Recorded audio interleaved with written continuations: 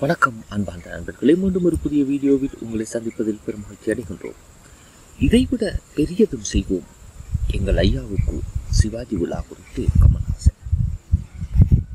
இதைவிட பெரியதும் செய்வோம் எங்கள் ஐயாவுக்கு என சிவாஜி விழா குறித்து கமல்ஹாசன் கருத்து தெரிவித்துள்ளார். மறைந்த நடிகர் சிவாஜி கணேசனின் மணிமண்டபம் அடையாறில் நேற்று திறந்து வைக்கப்பட்டது. துணை முதல்வர் ஓ பன்னீர்செல்வம் இதனை திறந்து வைத்தார். அமைச்சர்கள் ஜெயக்குமார் கடப்பூர் ராஜு மாபா பாண்டியராஜன் மற்றும் சட்டசபை உறுப்பினர்கள் நடிகர் ரஜினிகாந்த் கமல்ஹாசன் சத்யராஜ் பிரபு உள்ளிட்ட பலர் கலந்து கொண்டனர்.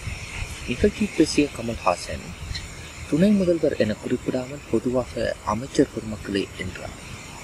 இதைத் தொடர்ந்து பேசிய அவர் சிவாஜி கணேசன் எந்த அரசாக இருந்தாலும் மதிக்கப்படும் கெஞ்ச வேண்டிய தேவையில்லை.